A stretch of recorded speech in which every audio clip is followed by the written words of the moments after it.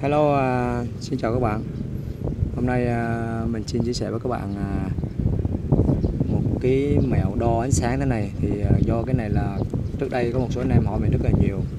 Nhưng mà tại vì mình uh, chụp manual thì uh, cái phần đo sáng này nó ít khi tác dụng bao nhiêu lắm, chênh lệch lắm, nó ít rất là ít. Uh, nó chỉ tác dụng khi mà các anh em chụp qua cái chế độ B như thế này. Ở đây mình để chế độ B này. Anh thấy chế độ B không? Thì uh, nói trước khi mình nói uh, về tất cả những cái chế độ đo nét đo sáng này xong thì mình chia sẻ với anh em cái mẹo luôn. Tại vì đó là mình bấm cho anh em coi luôn. Ở đây mình đang quay trực tiếp cái máy mình vô điện thoại. À vô cái điện thoại mình quay cho anh em coi rõ ràng hơn. Thì pin hiện tại cũng sắp hết rồi. Rồi bây giờ cái bước uh, cái cái phần uh, các anh em bấm vào đây này. Thì ở đây anh em thấy rõ ràng cái nút uh, mà đo sáng hiện đây đúng không? Đây. Giờ anh em bấm vào đây để hiện thấy rõ này thì bấm vào đây cái nữa. Đó ở đây có bốn cái lệnh để mà đo sáng đúng không? Đây bốn lệnh. Rồi thường thường là à, nó có một cái gọi là ký hiệu. Anh em coi ký hiệu này ở đây nó có cái không này cái không là có cái tròn tròn ở ngoài có một tròn ở giữa. Thường tức là để để cho dễ hiểu nhất. Cho dễ hiểu nhất thì anh em cứ để ý bức tượng anh em hiểu ra ha phần này ha. Thì à, tiếng Việt à, mình à, gọi là đo sáng toàn không hình à, tiếng Anh đọc ở đây là e. À, rồi từ từ đợi xíu. À, tiếng Anh nó đọc đây là evaluative uh, à, evaluative gì đó. Thì uh, mình cũng không quan trọng cái từ này mà mình nhìn với tụi mình biết là đo sáng này là tiếng Việt mình là à, đo sáng toàn không hình. Thì đo sáng toàn không hình này đây là một chế độ đo sáng toàn không hình máy ảnh cho tự tính toán cân bằng cái ánh sáng chung cho toàn cái không hình của mình. Thì uh, nó phù hợp chụp với các cái chân dung à, kể cả với trường hợp mà chụp ngược sáng. Một phần nữa là anh em thấy thường thường mình chụp mình cũng hay để cái chế độ này chụp. Tại vì à, trong cái máy sản xuất ra là mình đã thấy người ta đặt cái cái phần đo sáng này hàng này nằm đầu tiên. Tại vì người ta sắp xếp là cái hàng nó sẽ ưu tiên đầu tiên sẽ nằm đầu tiên đến đến hàng thứ hai. À, mục đích là mình chụp cái gì thôi. Thì ở đây mình xin nó rõ với anh em luôn là mình chia sẻ với anh em là cái đo sáng này chụp với cái trường hợp là mình nói về chụp ảnh người thôi chứ mình không nói về chụp động vật nha tại vì có nhiều cái đo sáng này nó có tác dụng. Khi mà các anh em chụp những cái động vật nhỏ nó sẽ tác dụng. Còn thường thường mình chụp người thì mình phải cần người sáng lên và cái khung cảnh sáng lên chứ không phải là như mình chụp cái động vật nào đó. Thì mình sẽ nói trước cho anh em hiểu cái phần này để anh em khỏi thắc mắc cái phần này ha. Còn anh em nào muốn chuyên sâu hiểu hơn nữa chụp cái động vật hay là chụp một cái vật thể nhỏ đó thì anh em có thể tham khảo thêm những cái website khác. Và mình cũng đã thấy một, một số những website uh, chia sẻ rồi và ở đây là mình à, bổ sung thêm và mình à, chia sẻ thêm cái mẹo cho anh em thì biết thêm thôi.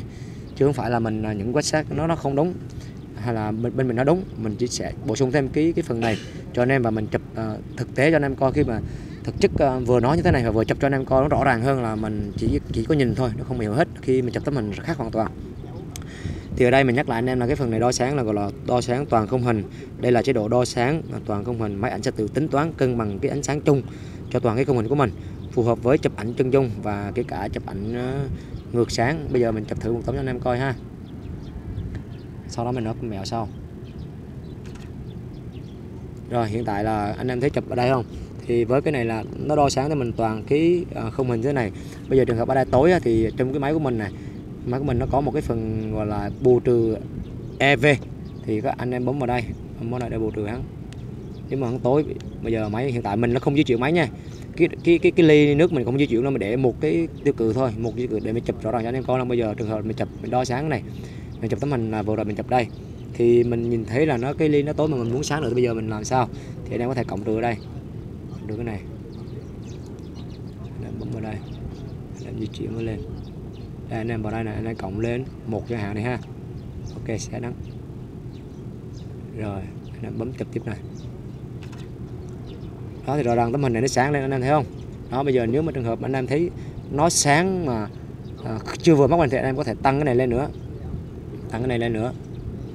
Tăng cái này lên nữa. Tăng hai góc cho anh thấy rõ luôn ha. Ok. Rồi chụp. Đó thấy rõ sáng chưa? Rồi anh em đã thấy à, cái phần đo sáng này rồi. Đến đo sáng thứ hai là ở trong mục này. Đo sáng thứ hai rồi hình như nó hết pin luôn rồi. Đợi mình xíu mà thay cái cục pin hiện tại là đem đi ba cục mà cục nào nó cũng hết. Là vì uh, quay nhiều quá trực tiếp nhiều quá. Bốn cục đó nhưng mà lát nữa mình sẽ chụp cảnh hoàng hôn cho nên mình để dành pin. Hiện tại mình đang ngồi ở quận 2 chắc anh em nào cũng biết cái thành chỗ này rồi. Đây cái phần đo sáng thứ hai. Đo sáng thứ hai đo sáng thứ hai gọi là đo sáng theo là cục bộ. À, cái chế à, cái phần này tiếng Anh các bạn đọc đây là bus đọc theo tiếng Việt cũng được cho nó dễ hiểu đi. À, mình thì à, ngôn ngữ tiếng Anh nó hơi bị kém. Battery còn cái từ Martin này giống nhau hết chứ là cái phần nào cũng có chữ Martin ở sau hết á. Battery ở sau hết đó. đó còn cái chữ hai cái chữ trước thôi. Và tiếng Việt mình là đo sáng theo cái cục bộ. Cái chế độ này đo sáng khu vực mà cái cục bộ mình có diện tích khoảng 9 phần trăm. Khoảng 9 phần trăm cái khuôn hình mà trong cái ống ống ngắm mình đã ngắm sử dụng hiệu quả trong các tình huống là chụp cái hậu cảnh nó đo sáng mạnh hơn à, nhiều hơn với cái chủ thể. À, bây giờ cái trường hợp này thì anh em chụp bây giờ mình chụp anh em coi luôn ha. À, bây giờ hiện tại mình đã đây. Khi à, khi anh em chụp cái dạng này bây giờ anh em so lại cái tấm hình hồi nãy đi ha. Hai hai cái chế, chế độ này nó khác nhau chỗ nào không? Đây thì bây giờ anh em coi nha anh em coi cái tại sao hắn có khác nhau. Giờ chất cái hiện tại máy mình để một nguồn sáng thì hiện tại một nguồn sáng chiếu vào cống kính của mình và một cái tiêu cự luôn không di chuyển luôn. Nhưng mà thực chất á, những cái đo sáng này mình để chỉ hiểu một cái là hắn sẽ tính toán à, 9 phần trăm trong cái phần mà mình lấy nét. Mình lấy nét ngay, ngay, ngay cái ly này mình lấy nét tính toán ở đây hắn làm sao cho đủ sáng vừa mắt mình thôi. Đây hắn tính toán. Còn những cái phần ngoài thì hắn không quan trọng bây giờ. Mình sẽ dời cái nút nét này đi thử coi nha.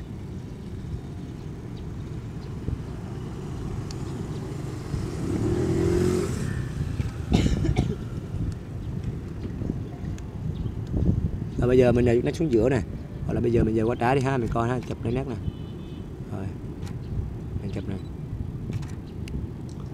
À, khi anh em thấy hai tấm hình không mình giờ cái nút nét đi qua bên à, tay phải của màn hình thì rõ ràng hai tấm hình nó có khác nhau không? Anh em coi cái hậu cảnh như thế nào? Rõ ràng cái hậu cảnh nó tối hơn đúng không?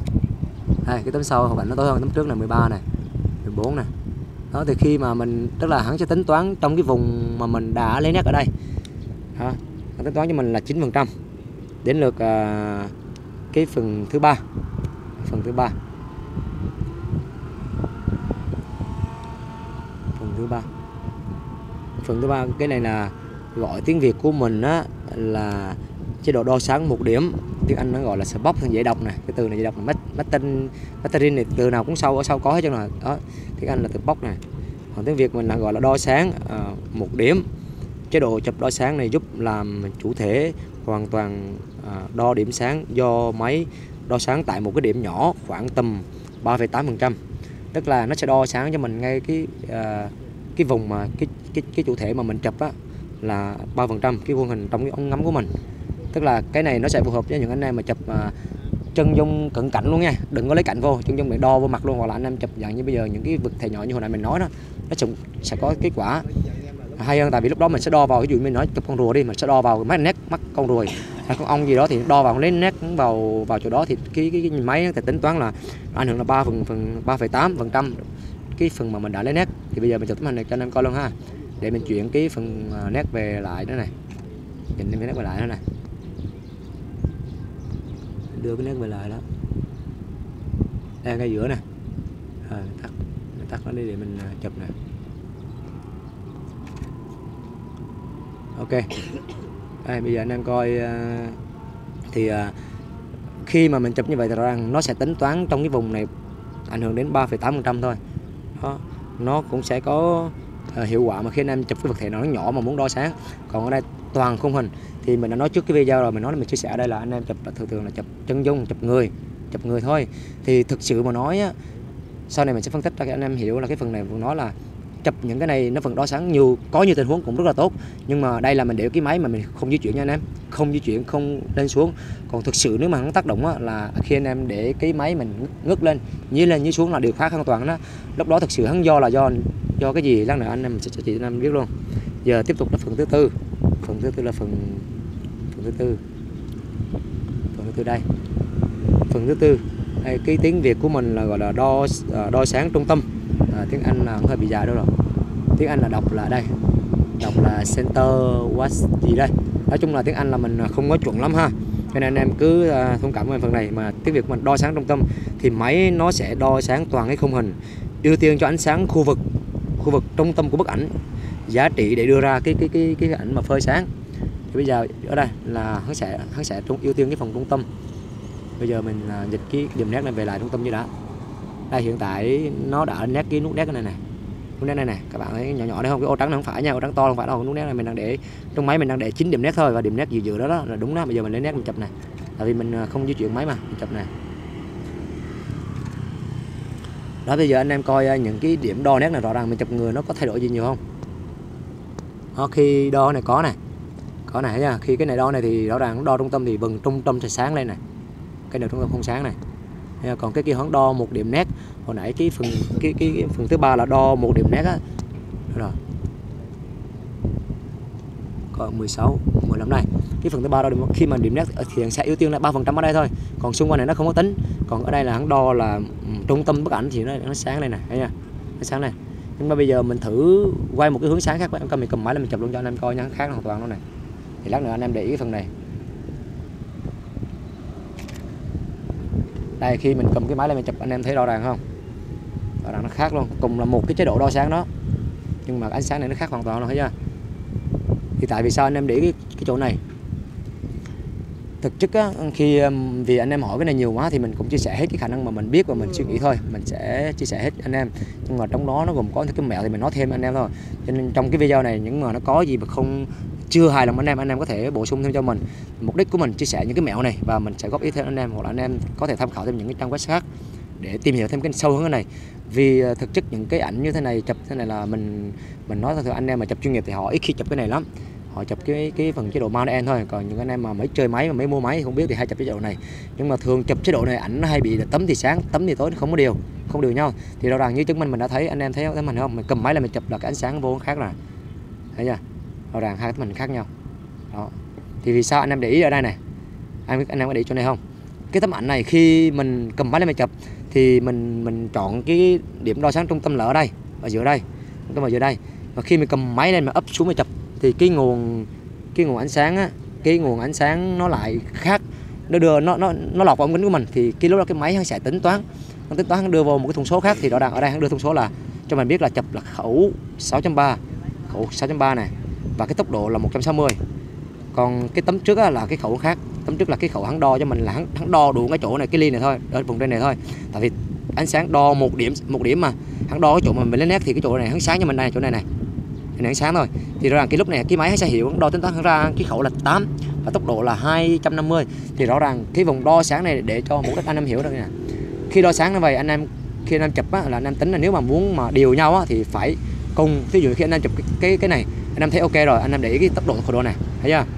Anh em để ý tốc độ khởi độ là tốc độ là 160 f là là 6.3 thì anh em chụp nó đẹp hoàn toàn những điều như vậy luôn. Còn nếu mà cái máy anh em mà chiếu xuống nhỏ này bây giờ mình để lại ha để tôi chụp, chụp đi. Để là máy có này chụp thì rõ ràng khi chụp để máy kiểu như vậy này ông ống kính mình ánh sáng này nó lọt vô nó khác nhau. Nó khác nhau thì cái cái khẩu nó lên 8 này thấy chưa? Và tốc độ lên khác thì rõ ràng tấm hình anh em chụp hai tấm thì rõ ràng nó khác nhau liền. Thì chính vì cái chỗ đó thì ở đây là mình chia sẻ để cho anh em nào mà mà mới cầm máy chơi ờ, mới mua máy hoặc là mới vào vào nghề chưa hết những cái này thì anh em biết thêm cái lệnh này thôi. Thì nên chậm thôi. Còn mình khuyên anh em mà, mà nếu mà anh em làm trong nghề thì rõ ràng anh em trong nghề không có chậm chế độ này rồi. Họ thường thường họ sẽ chậm uh, manual uh, cái phần M ở, ở trên máy á. Hiện tại là mình chậm chế độ B. Đâu rồi? Đây. Hiện tại là mình chụp chế độ B á còn anh em mà chụp quen rõ ràng chụp manual thôi thì mình cân nhắc ở đây anh em đo sáng là anh em muốn chụp người thì thì theo mình là chụp chân dung thì anh em một là đo sáng trung tâm đo sáng cái vùng cái vùng à, hàng cuối này đo sáng vào cái hàng cuối này nó chụp chân dung. Và đo sáng cái, cái, cái, cái toàn khung ảnh này để cho nó an toàn cái khung ảnh của mình. Đó không muốn sáng lên. Thì còn à, cái mục nào ví dụ như mục này đi mình chụp lại mục này cho anh em coi ha. Mục này ví dụ bây giờ mình chụp cái ở đây ở đây mình chụp tấm hình này hắn đo sáng cho mình là hắn ra như vậy này hắn ra tốc độ như vậy ha. Thì bây giờ các bạn này hắn tối ví dụ hắn tối đi mà anh em anh em nhìn chưa vừa thì như hồi nãy mình có nói anh em vào cái phần này phần này nâng sáng lên. Phần trừ bì e đọc là gọi là ev gì đó trong máy mình đây. Anh em vào đây. Anh em cộng lên nữa. Đây. Đang, đang là chế độ này. Từ từ nha. Đây anh em chụp lại tấm này coi ha ví dụ này, này. đây nó ra là F8 này thấy chưa? F8 ví dụ ví dụ trường hợp tốt thì anh em cứ vào đây lại. Đây vào chỗ này. Tăng lên tăng lên nữa. Tăng lên mà khi nào nó sáng vừa bắt mình này thôi. Ở đây mình dụ dụ ok. Rồi hướng sáng này thấy chưa? Đó là định hướng. Hiện tại mình đang quay ở đây cũng là hướng. Thì rõ ràng đến đây là anh em thấy rõ ràng rồi. À, sau đây là anh em mình à, xin à, những người anh em yêu thích cái video của mình à, hoặc là thích cái cách mà chia sẻ à, của mình thì anh em share cái video hoặc là like comment những video của mình luôn và anh em nào mà không hiểu thì anh anh em có thể lấy cái máy ra. Anh em có thể chụp để để trải nghiệm cho nó. Khi coi video này này trải nghiệm luôn đúng như vậy không? Thì còn một cái mẹo là cuối cùng rồi mình nói anh em chia sẻ là anh em để ý cái thực chất á cái máy này khi mình đo sáng tức là những cái này đều có tác dụng hết đó có. Nhưng mà anh em phải để ý lưu ý một cái nữa vì vì một phần á, khi anh em chọn những cái chế độ này đo sáng như thế này sáng cái này hai cái này cái này thì anh em để ý là vì sao mà khi mình chụp cái máy nó chia lên thì hắn tối mà chia xuống thì hắn sáng. Thì chính là, chính là cái nguồn sáng hắn lọt vào ống kính của mình. Nguồn sáng lọt vào ống kính của mình thì lúc đó máy hắn tính toán là hắn cho hắn cho cái khẩu khác thôi. Tại vì khi này mình chụp ô tô mà mình chụp chữ B mà ô tô thì rõ ràng hắn tính toán hắn đưa ra một cái giá trị là à, tốc độ phải vậy này khẩu độ phải vậy này thì hình nó phải phải ra như vậy này. Thì còn lại ví dụ như hắn tối là thì anh em có việc cộng cái này lên. Hắn tối hay sáng. Thì anh em việc cộng lên thôi là xong thôi. À, là xong tối sáng anh em việc cộng trừ này đây là, là cộng lúc này cái cái phần này nó sẽ hiểu. Anh em thấy sáng anh em có trừ về lại trừ về lại đây. Ok hắn bấm cho anh em coi luôn này đây thấy chưa? Thì cho nên khi anh em chụp anh em để ý cứ nhắc cái nguồn sáng nữa. Đã đo khi mà đo sáng rồi anh em phải để ý cái nguồn sáng lọt vào ống kính của mình. Nha. Để để cái máy chuối xuống thì nguồn sáng lọt vô khác để máy lên trung bình nguồn sáng lọt khác khi anh em chụp xác định mà để cái máy mà cân bằng thì cái nguồn sáng hắn vô lại. Ví dụ bây giờ mình đã để thẳng để thẳng một lần nữa ha. Anh em hiểu rõ xíu luôn. Ví dụ như để rõ này hiện tại giờ mình để cái mình để một không, không đi ha. Mình chụp cái nguồn sáng máy thẳng này. Máy thẳng này.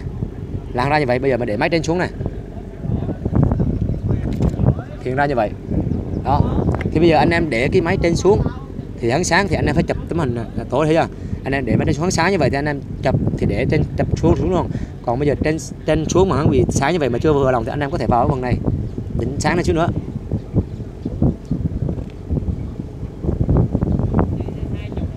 Rồi, ok. Ví dụ vậy đó, thì khi mình chụp mình biết.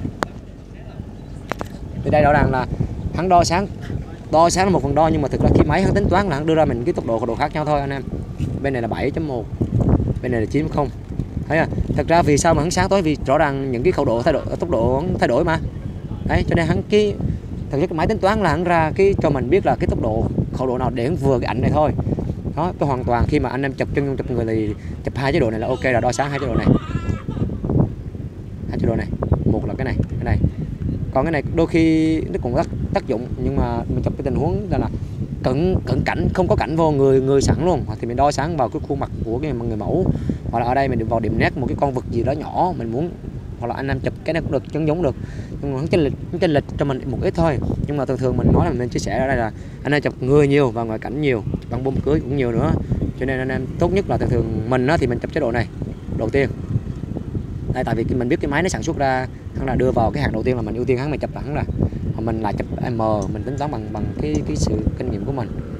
Đây à, đến đây mình à, xin chào anh em mong anh em à, hy vọng anh em yêu thích video của mình là chia sẻ và share à, cùng comment. Còn anh em nào thắc mắc nữa cứ bình luận dưới cái video của mình.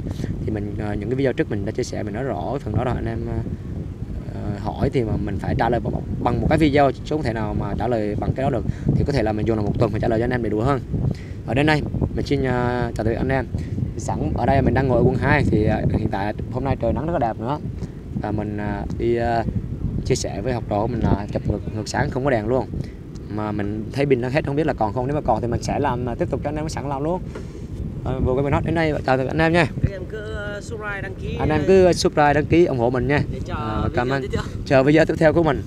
Và hiện tại của mình mình đang thấy là đẹp rồi đó. Biết bữa nay mình quay được trực tiếp thì anh em thấy rõ hơn cái cảnh này này à, tức là video mình đã làm rồi. À, nhưng mà lần trước mình chỉ nói qua cái ảnh mình vẽ lên thôi. Còn hôm nay là mình mình sẵn có đem ờ, để điện thoại đi quay phim rồi thì sẵn mình làm được thì mình làm cho anh em luôn. Còn nếu không được thì một sẵn một dịp nào khác mình sẽ làm cho anh em nha. Ok, chào tạm biệt anh em.